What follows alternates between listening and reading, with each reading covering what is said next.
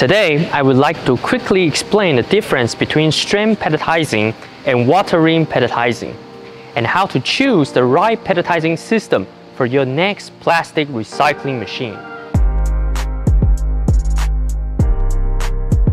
Strand pelletizer is usually used for PET and materials with high melting index that are difficult to process using a water ring pelletizing system.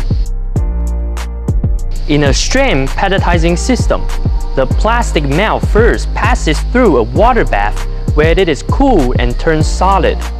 The plastic is then pelletized by air knives, where the water is removed from the surface of the pellet at the same time.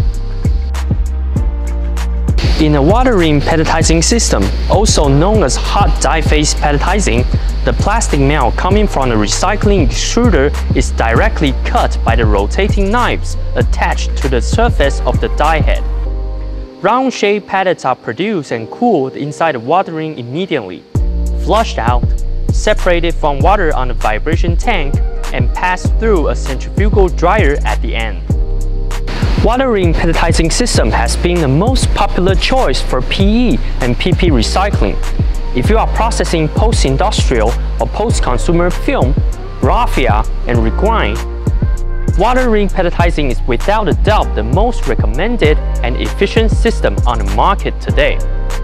However, if you mainly recycle material with high melting index, it might be more suitable to go for the strand type pelletizing instead.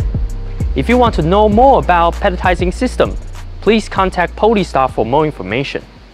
If you like this video, please check here for more information.